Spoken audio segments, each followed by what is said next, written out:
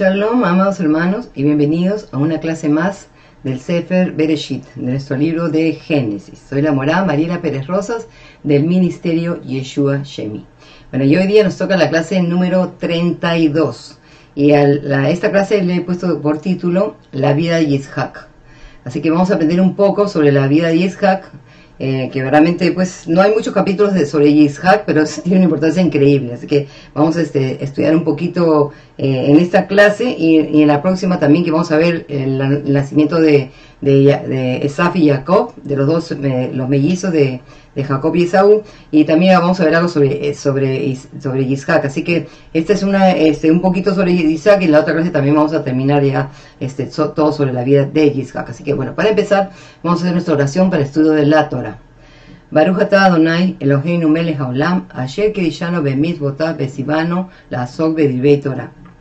Bendito eres tú, eterno, nuestro Elohim, Rey del universo, que nos santificas en tus mandamientos y nos has ordenado ocuparnos de la palabra de la Torah. Beshem Yeshua Mishiheinu, amén. Ok, vamos a poner las pantallas.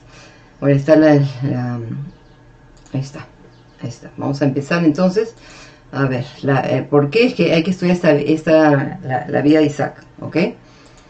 Dice, la vida de Isaac es algo que muy pocos han estudiado, a pesar que su vida tiene una tipología mesiánica, yo diría completamente mesiánica, ¿ok? Vemos que es el único de los patriarcas que siempre está en la tierra. Él nunca va, acuérdense que quiso ir a, a Mizraim, Egipto, pero el Eterno lo detuvo. Es el único que tuvo una sola esposa está dispuesto a ofrecer su vida como sacrificio, porque él sabía cuando subía con, este, con su padre. O sea, cuando y después Yitzhak introduce la oración Minja, que es la hora de la muerte de Yeshua. Ahorita vamos a, vamos a aprender un poquito sobre esto, sobre las oraciones que se hacían en el templo. Y bueno, y se le, se le atribuye una oración a cada patriarca. Así que como vemos, pues este Yitzhak tiene unas cosas este, bien interesantes. Este, igual que Yeshua, Yeshua nunca salió de la tierra. Su mensaje siempre fue para Israel, este, una sola novia, eh, no tiene varias esposas, eh, ofrece su bien sacrificio, y bueno, este, sabemos pues que las 3 de la, tarde, las 3 de la tarde, en la oración Minja, que es las 3 de la tarde donde él muere, queda su vida con nosotros, y realmente es donde pues, este, ¿cómo se llama? Este, ahí es donde él, él paga el precio por esa novia preciosa, ¿ok? Vamos a ver la siguiente. Ok, vamos a empezar este, eh, ver lo de que le dije, lo de la oración, ¿Por qué se dice que eh, los rabinos entienden por qué eh, es el que hizo la oración de la tarde? Y como dije, un- cada oración, son tres oraciones que, acuérdense que Daniel, vemos que Daniel se postaba tres veces, tres veces mirando hacia el templo, hacia Jerusalén, ¿ok? Donde estaba en Babilonia. Entonces, esas tres, esas tres oraciones, es eso ya, imagínense, ya desde Daniel, que están en Babilonia, eh, ya el pueblo judío lo reconocía y, se le atribuyó esas tres oraciones, las horas de esas tres oraciones a los patriarcas, la de la mañana Abraham, la de la, la, la, em, 3 de la tarde a Isaac y como vamos a ver la de Jacob la de la noche. Y lo vamos a ver porque de dónde lo sacan los rabinos porque lo sacan de las mismas escrituras. Entonces vamos a ir a Génesis 24 el verso 63 vamos a leerlo en español y después lo voy a mostrar en el hebreo. 24 63 la palabra dice e Isaac había salido a meditar al campo al atardecer y alzando sus ojos miró y aquí unos camellos que venían Así que vemos acá, esto es bien interesante porque esta es la hora que él está afuera en el campo orando y viene su novia, ¿ok? Entonces ya nosotros eh, tenemos que eh, relacionar y entender, amados hermanos, esta importancia que tiene esto Yitzhak como una tipología de Mashiach, ¿ok? Entonces ahora vamos a verlo en el hebreo porque realmente, como le digo, pues acá en la textual dice, ustedes me dicen, ¿a dónde está? A meditar, meditar. Entonces, la, el problema que tenemos es eso, que las palabras que nos ponen en español no muestran el verdadero significado de las palabras hebreas. Y es por eso que hay que aprender a, buscar eh, este, en una interlineal las palabras que encontramos cuando queremos hacer un estudio de algo que es la que nos va a ayudar, a poder ver pues más profundo, ver lo que realmente la Torah nos está tratando de transmitir, que no lo vemos en nuestros idiomas, ¿ok? Entonces vamos a ponerlo en, en toda la pantalla vamos a leerlo en el hebreo. Y dice, Vayetse Yitzhak, Vayetse, es y salió. Yitzhak, la Shuach, la Shuach, acá nos ha puesto a meditar. Basade es en el campo, en el campo. Acá dice, en la, en, la parte de abajo, dice Lifnot Erev, o Aref, es lo mismo, Eref o Aref es lo mismo, ¿ok? La misma palabra. Dice Livnot, o sea, en la presencia de la tarde, en la tarde. Usted sabe que la tarde es la que empieza pues a caer el sol, entonces él está este, entre las tardes, ¿se entiende? En ese tiempo, o sea, antes que venga la tarde, está delante antes que venga la tarde. Eso es lo que dice literalmente el hebreo, ¿ok? Dice, Bayizá, dice Bayizá, y levantó, dice Einab sus ojos, Bayaré, y vio y la tercera línea dice, Vejine, y aquí, Gemalin Bain, camellos que venían. ¿Ok? Entonces ahí le puse por eso esas, esas dos palabras en rojo, la Shuach, que nos han puesto pues la textual meditar, y la otra es Lifnot Aref que es la, el, delante, antes de la tarde, porque not puede ser antes, es antes que, antes que la tarde. Entonces, es por eso que se entiende que es la hora del sacrificio de la tarde, ¿ok? Es, las 3 de la tarde. Entonces, la palabra Shua, jamás hermanos, le puse un ejemplo para que ustedes vean cómo ha sido traducida y para que vean que no se trata de una meditación, sino es una palabra mucho más fuerte que eso. Vamos a ir al Salmo 44, 25. 54, ah no, pero 44, Salmo 44, 25. 44, 25 dice, porque nuestra alma está agobiada hasta el polvo y nuestro cuerpo postrado en la tierra. Ahí está, postrado. Shahá, Shahá, es esta palabra, ¿ok? Es eshtahabé, adorar, adorar en, en, en, en, un estado de postración. Es una palabra muy fuerte para adoración. Así que vemos pues que realmente él está, y todavía dice, la shuas basadé, él estaba postrado en el campo. Eso es lo que él estaba. Él estaba postrado. Él no está parado, está meditando y mirando. No, él está postrado, está hablando. Porque imagínense, él sabe, también está esperando, ansioso de que venga su novia que venga, porque sabe que, que, eh, Abraham había enviado a Eliezer, a su, a su siervo, es lo que aprendimos la vez pasada, la novia para Isaac, a traer a su novia. Y él está esperando, y está orando, pidiendo por esa novia, me imagino. En fin, podemos este, decir muchas cosas, pero la cosa es que él está postrado en, adoración y en, alabanza este, por esa novia, me imagino, ¿no? Ok, ahora vamos a ver, como les dije, la oración de la mañana. ¿Por qué se, se, da, eh, se, se, le atribuyó a Abraham, a Vino, a nuestro padre Abraham? Génesis 19, 27. Bereshit 19, 27. Mis pobres páginas de Génesis están ya, pero que se salen de la Biblia. Ok, Génesis 19, 27 y dice, Abraham madrugando se dirigió de mañana al lugar donde había estado en presencia de Yahweh.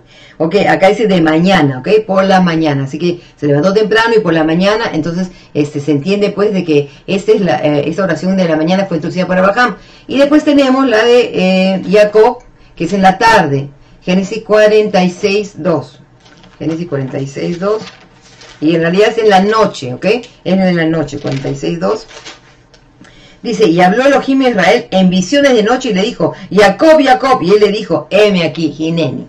Entonces vemos pues que estas, este, esta este, presentación del Eterno eh, a ellos es lo que, lo que originó las, las olas de la, oración. Y los rabinos por eso le atribuyen, por eso dije, esas tres horas de oración a los patriarcas, Abraham, Isaac y a Jacob. Y eso es bien interesante porque vemos que casualmente este, es este Daniel que las hacía. Pero lo más increíble de todo eso, amados hermanos, es que era a las nueve de la mañana, este, la otra era a las 3 de la tarde, y la otra es en la noche, la caída del sol. Entonces estamos viendo que realmente pues son, las horas de, eh, de, del sacrificio de la mañana, a las 9 de la mañana es la hora que fue crucificado nuestro Mashiach Yeshua, a las 3 de la tarde muere y después, bueno, por la noche, pues este, antes que caiga la tarde, él es enterrado y en fin. Así que coordine más o menos con la vida de nuestro Mashiach. Que vamos a ver la siguiente. Ok. Isaac sigue los caminos de su padre y recibe la bendición por causa de él, ¿ok? Esto es algo que verdaderamente a nosotros nos debería traer mucho alivio también de entender que a veces por amor a nosotros, por amor a los padres, el Eterno actúa sobre la vida de nuestros hijos. Vamos a leer y lo, lo voy a enseñar en el hebreo para que ustedes vean las palabras que están ahí, para que ustedes entiendan y vean verdaderamente, porque realmente la Torah no se inició en Har Sinai, en el monte Sinaí, amados hermanos. La Torah fue dada a Adán, se fue dada a la humanidad ellos conocían desde el Gan Eden, Noah conocía, porque si no, ¿cómo Noah sabía de los animales puros e impuros? Y había esa Torah, fue transmitida oralmente, ¿ok? Sino que ya, este, a partir de Moshe, que ya se va a escribir. Ok, entonces le dije 26 del 1 al 7, dice, hubo hambre en aquella tierra, dice, de, este, diferente o aparte de, de aquella primera hambre en los días de Abraham. E Isaac fue a Gerar, donde, donde Abimelech era rey de los filisteos. Ahora vamos a estudiar algo bien interesante también. Y se le apareció Yahweh y le dijo, no bajes a Misraim, a Egipto, muere en la tierra que yo te diré habita como forastero en esta tierra y estaré contigo y te bendeciré, porque a ti y a tu simiente daré todas estas tierras y confirmaré el juramento que juré a tu padre Abraham. Está confirmando el pacto que dio Abraham a Yitzhak, a la que dio este, a, sí, a Yitzhak. Y dice, por cuanto Abraham oyó, ah no, me salté el 4, no leí el 4, ¿no? Multiplicaré tu descendencia como las estrellas de los cielos, daré a tu descendencia a todas las tierras y todas las raciones de la tierra serán benditas en tu simiente. Nuevo mismo he pasado esa bendición de Abraham a Isaac. Y ahora sí viene la clave, que miren lo que dice el 6, el 5. Por cuanto Abraham oyó mi voz y guardó mi precepto, mis mandamientos, mis estatutos y mis leyes, y habitó pues Isaac en Gerar. Entonces miren en el hebreo, más hermanos. Dice, Ekev, Ekev, por cuanto, Asher, Shama, Abraham, por cuanto Shama escuchó Abraham, pero Shama ya sabemos que es escuchar y obedecer. Bekoli, e a mi voz, dice, Baishmor, y guardó Mishmarti, Mishmarti son mis, mis, este, mis, uh, eh, no se puede decir estatutos, sino eh, mis leyes, mis, mis, mis, no, yo no le digo mandamientos, sino guardamientos, ¿ok? Es lo que realmente significa mishmaret, mishmareti, mis guardamientos, ¿ok? Dice la última línea, dice, mis botai, mis mandamientos, ahí está. Jukotai, mis preceptos, betoratai y mi Torah, ¿ok? O mi Torah, mis leyes. Entonces, como estamos viendo, amados hermanos, esta palabra que vemos acá, eh, Mishmeret, Misbot, Jukat, Torah, son todas las palabras y todavía, bueno, también tenemos más, otras todavía, este, Edut, no es la Torah, pero acá, acá hay un principio, esas leyes, estos preceptos, ya los conocía Abraham, la ley, la Torah ya la conocía. Entonces, este, Isaac es bendecido por cuanto su padre Abraham guardó todos sus preceptos, porque también se los enseñó a Isaac. Entonces vemos que él es bendecido por cuanto escuchó y obedeció la Torah, la ley, los mandamientos. Abraham es un ejemplo de, de, de imagínense, el, padre de la fe, más hermanos, porque ¿quién hubiera hecho semejante cosa? Ofrecer a tu hijo, este, imagínense, pero bueno, era algo que, ya tenemos, tal vez lo vamos a explicar en otra clase la razón de eso, pero bueno. Ok, vamos a ver a una parte, más hermanos, que esto les va a chocar bien fuerte, y creo que muy pocas personas la conocen, eh, por lo que pasa que no tenemos costumbre de leer en el hebreo, ¿ok? Entonces, este, esto nos va a abrir los ojos de muchas cosas y realmente nos va a ayudar a entender este, eh, por qué las personas, los personajes que vemos en la Torah actúan de la forma que actúan y por qué hacen las cosas que hacen. Porque como les digo, como no tenemos el hebreo y estamos eh, guiándonos de lo que encontramos en el español, no podemos ver y, a veces hacemos, este, eh, acusamos o pensamos, ay, pero ¿por qué hizo eso? ¿Qué le pasó? Pero aquí hay un mensaje que está ahí escondido cuando nosotros vamos al hebreo. Entonces quiero, vamos a ir a Génesis 26, 8, donde dice, Pasado allí bastante tiempo, Abimelech, rey de los filisteos, mirando por la ventana, vio a Isaac y aquí acariciaba a Rebeca, su mujer. Nosotros sabemos que aquí en este caso, pues, Isaac sigue el camino del padre y mintió y le dijo, ella es mi hermana. ¿Ok? Entonces, este, ahí él sigue los caminos de su padre, hace lo mismo que Abraham. Y está dispuesto también a ir a Misraim, pero el Eterno le impide que baje. Pero está, mora aquí este, en, con los filisteos. Con, y entonces, ¿qué pasa? El, el rey este, vio entonces, este, ¿cómo se llama? Eh, que él la estaba acariciando. Acá la mía dice realmente acariciando. Yo no sé cómo está en otras Biblias, bueno, que tengo toda la Biblia, pero ay, no quiero irme a buscar otra y leerla, pero bueno, hagan esa tarea y busquen. Yo digo la mía, la textual dice acariciando, ¿ok? Entonces ahora vamos a ver la palabra hebrea y vamos a ver en otros pasajes, y eso es lo que realmente le digo, como siempre digo, yo les va a volar los sesos. Esto es increíble, hermanos. Vamos a verlo en toda la pantalla. Dice.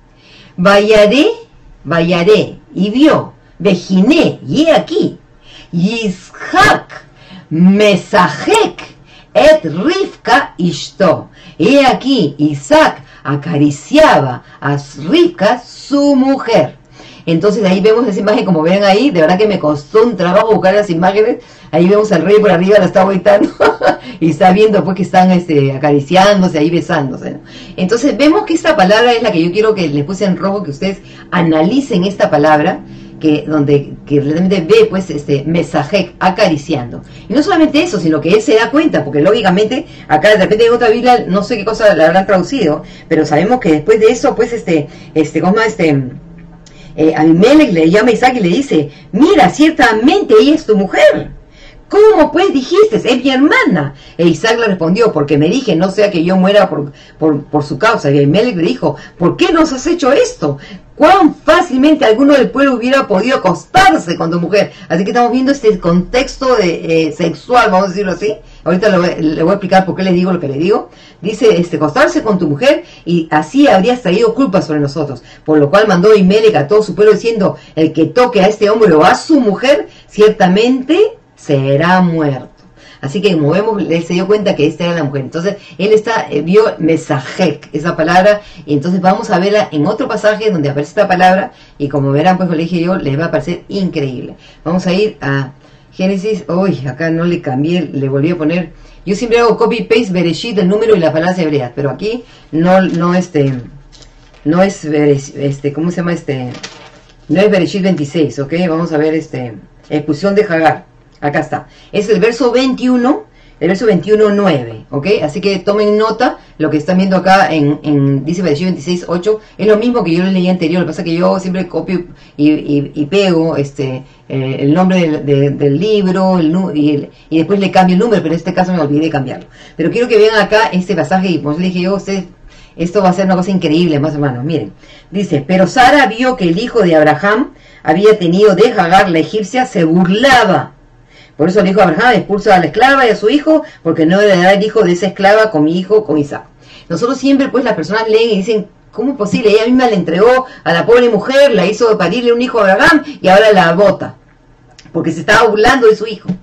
Pero ahora vamos a ver a más hermanas, porque realmente este, acá hay un misterio porque no vamos a poder descifrarlo exactamente. Hay una pista se nos va a dar, pero no vamos a poder descifrarlo exactamente. Y van a ver por qué, ¿ok? Van a ver en el hebreo, y se lo voy a traducir para que ustedes vean cómo es lo que dice. Dice, Bateré, Bateré está en femenino, y vio Sara et Ben Hagar, y vio Sara al hijo de Hagar, dice, la segunda línea dice, Hamis, Hamisrit, que es la egipcia, dice, dice, Asher y Alda, que, que, le había dado a luz, vamos a decir, eh, dice, le Abraham, que le había dado a Abraham, Mesajek. Ella ve a, a, a, Ismael Mesajek. Mesajek, ¿qué? Acariciar, como lo vi en los pasajes. ¿Acariciar a qué? ¿A quién? ¿A Isaac o a él mismo? Por eso le dije, esto es algo fuerte. Esta palabra tiene que ver, tiene una connotación, esta es la connotación que tiene, y la vamos a ver en otro pasaje en para que ustedes vean. Entonces, aquí realmente pues no dice exactamente qué es lo que estaba haciendo, pero eso, ella vio algo. Ella vio esta palabra que el mismo rey Abimelech vio Mesajek a Isaac con su mujer, y ahora está, Sara está viendo a este, a, Ismael Mesajek, pero no sé si él o, o, con el niño. Y, ella se, se aterra y dice, echa esta con su hijo ahora pueden entender la razón por qué ella hace. Por eso que el Eterno le dice, haz, obedece la voz de tu mujer. Pero acá, como les digo, esto es algo muy importante porque también tenemos que pensar, o sea, no, no se puede decir, decir exactamente qué está sucediendo, pero si nosotros ponemos a añadir más o menos las cosas, podemos ver que acá Ismael para esta, para esta edad, eh, él tiene, creo que, me imagino que tiene 13 años o 14 años, o ah, eh, me parece, o un poquito más de repente. Está en la edad, un poquito la pubertad, eh, esa difícil, esa edad donde los jóvenes, este, pues, este, eh, ¿cómo se llama? Comienzan a, discernir su sexualidad, a sentir todas estas cosas. Entonces, no sabemos, pues, vamos a por eso le digo, acá es un misterio que no te dice. O sea, no te dice si es el mismo que está haciendo o al niño, no se sabe, ¿ok? No se puede decir. ¿Ok? Entonces, este, bueno, pues imagínense los rabinos, por eso que enseñan lo que enseñan, ¿eh? porque acá está viendo esta palabra que, que, eso es lo que es. Entonces, acá pues la textual me dice se burlaba, ¿no? Dice, dice se burlaba. Y no, en, acá no pone el nombre de Isaac, pero sé que en otras Biblias creo que la se burlaba de Isaac, pero como ven en el hebreo no está, no está la palabra, eh, no está el nombre de, de Isaac, ¿ok? Entonces, Ahora vamos a ver la siguiente, porque acá vemos que otra, otra vez sucede esta misma, esta palabra, ¿ok? Y vamos a estudiar esta palabra un poco más profundo. Vamos a ir a Shemot 32.6, Éxodo 32.6. Éxodo 32.6. Dice, por lo cual al día siguiente madrugaron y ofrecieron holocaustos y trajeron ofrendas de paz. Después el pueblo se sentó a comer y beber y se levantaron para divertirse. ¿Ok? Ok, yo les voy a enseñar acá la imagen para que ustedes ya saquen su conclusión. Miren esta imagen. Ok, se trata del becerro de oro. El becerro de oro. Y este becerro de oro, este acá, esta, esta palabra, eh, bueno, vamos a verlo en hebreo y después lo voy a terminar explicando, que vamos a ver que está esta palabra, este, sahak, ok, no mesajek, sino la, la que es lo mismo, ok, eso lo voy a explicar, ok, pero vamos a leerlo, este, como en el hebreo dice, Vayishkimu, mi maharat, dice Vayishkimu, y se levantaron mi, mi maharat, dice, este, al día siguiente, Vayalu Olot, y trajeron o subieron, este, Olot, son sacrificios de ascensión, ¿no? Vayi, dice Vayishu Shelamim, y acercaron Shelamim, o sea, ofrenda de paz. Dice, Vayeshef Ha'am, y se sentó el pueblo, Lehol, Beshato, a comer, a beber, dice, dice y se levantaron, Lesajek, y se levantaron. O sea, acá es la clave es a comer, a beber y a divertirse. Y esto es bien entendido que esto se trata, siempre que hay que comida y bebida, se trata nada más y nada menos que este, orgías y cosas que tienen que ver, este, eh, cosas sexuales. Eso, es, eso es lo que tiene que ver. Eso es lo que quiero que entienda que este es el contexto, es lo que pasó, eh, fornicación, en fin, todas estas cosas que suceden. Entonces vemos esta palabra que tiene esta, esta, este, este sabor, vamos a decirlo así, pero vamos a tratar de por eso de discernirlo y en verdad que este, eh, eh, explicarlo. Después vemos acá, este, vamos a ver algo acá bien interesante, porque de hecho cuando nosotros vemos, por ejemplo, con los medianitas, que eh, Israel fornicó con ellos, que comían su sacrificio, comían, bebían y que también se acostaban con las mujeres. Entonces, este, este hecho de comida y bebida y, y divertirse y acostarse era algo que se practicaba. Pero ahora vamos a ver acá, este, ¿cómo se llama? Este, ¿Por qué es que se le llama a Isaac lo que se le llama? ¿Ok? Eso vamos a tratar de explicarlo ahora basado en esta, esta misma palabra. Entonces, la primera vez está en Génesis 18, 12. Espero que ahí haya copiado el correcto o de repente. Ay, Dios mío. A ver, vamos a ver. 18, 12 dice. Entonces. Ay, estoy en eso. ay, ay, ay. Ok, vamos a ir. Génesis 18, 18, 12. Y dice. Y se rió Sara en sus adentros, diciendo, después de mi menopausia, ¿es de tener placer siendo mi señor anciano? Entonces acá vamos a ver, por eso, ahora van a entender el contexto, cuando termine la clase van a poder entenderlo bien, mira, vamos a verlo en toda la pantalla. Dice, esta es la primera pasaje. Dice, Batishak, Sara, Batishak, y se rió Sara. Dice, Bekirba, dentro de ella, Lemor diciendo. Ahí estamos viendo, miren la risa de esa mujer ahí, esa, esa, esa palabra, Mesajek, la raíz es Sahak que tiene que ver con risa, ¿ok? Eso es lo que es, ¿ok? Este, pero ya visto el contexto que, lo que vimos que acariciar, pero ahora voy a explicarlo un poquito mejor. Y vemos que también este, eh, Abraham también este, hace lo mismo. En Bereshit 17, 17, vemos que Abraham también se ríe y dice, este, espérense, voy a poner la cámara para leer, ay, esta no, no, tampoco está, esta de acá, okay, ahora sí. 17, 17, después se lo voy a mostrar en el video, dice, y cayó Abraham sobre su rostro, pero se rió y dijo en su corazón, a un hombre de 100 años le habrá de nacer un hijo y Sara dará luz a 90 años, ok, entonces vamos a verlo ahora en el hebreo. La segunda parte dice, Vayipol Abraham, Vayipol, se, se cayó, o sea, se cayó Abraham, al paná sobre su cara, Bayishak, y se rió. Ahí está, Bayishak, exactamente ese es el nombre de Isaac. Y se rió, ¿ok? Y se rió. Pero como yo les dije, acá esta palabra Sahak tiene una connotación sexual, tiene una connotación de esto. Y de hecho, la risa tiene que ver con esto. Eso lo voy a enseñar, Ok. Dice, la risa es algo natural y muy beneficioso para el cuerpo, ya que genera dos sustancias, dopamina y endorfina, que son sedativos narcóticos capaces de aliviar el dolor y responsables de las sensaciones placenteras en nuestro cuerpo. Entonces ahora están entendiendo, esta palabra sahak, esta palabra que tiene que ver con risa, tiene algo que ver con el placer. Tiene que ver con eso. Y porque la risa es eso. Yo le puse acá tres ejemplos para que, para que veamos esto. Eh, Salmo 126, 2. Salmo 126, 2. ¿Y por qué que vemos realmente pues este, este, este gozo, este placer que tiene que ver la risa?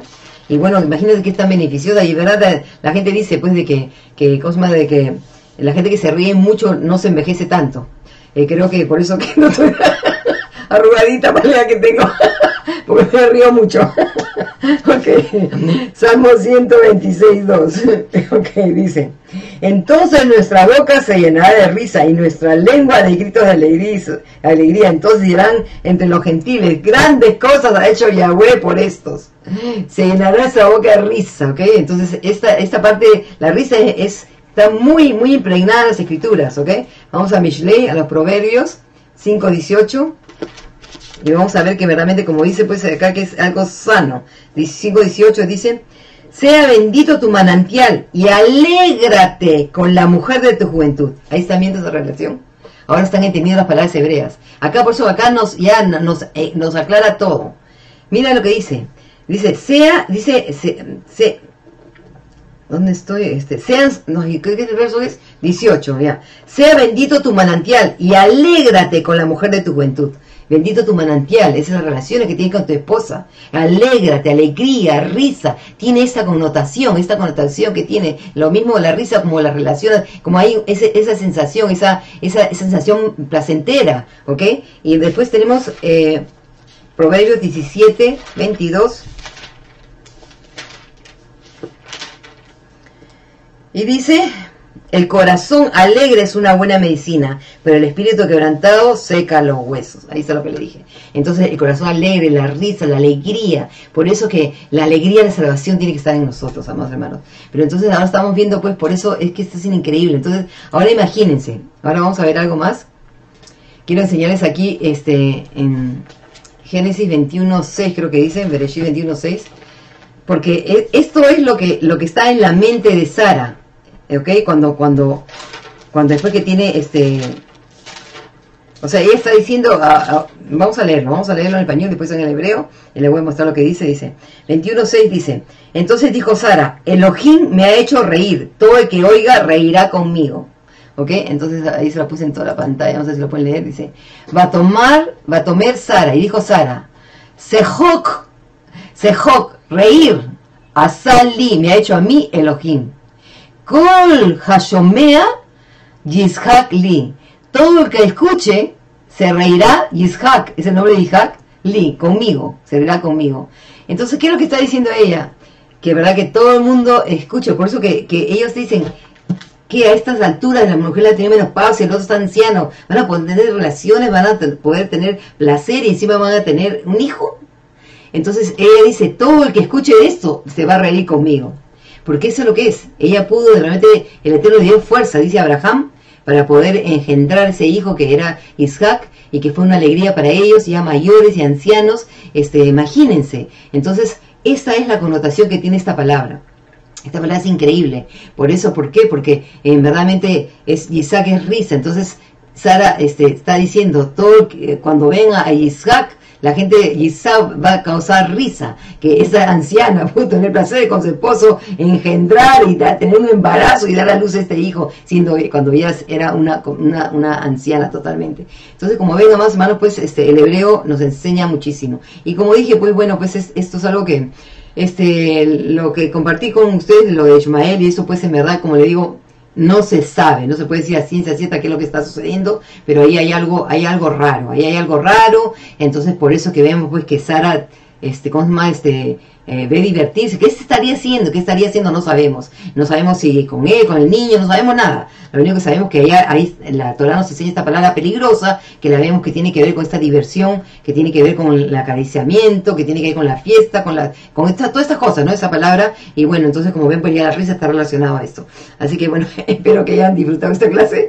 Y de verdad que cada día aprendemos más, como siempre digo, seguimos aprendiendo. Estamos en el proceso, seguimos aprendiendo, seguimos aprendiendo. Así que bueno, la hayan disfrutado y será hasta la próxima. Que el Eterno los bendiga, que el Eterno los guarde. Shalom Alejem.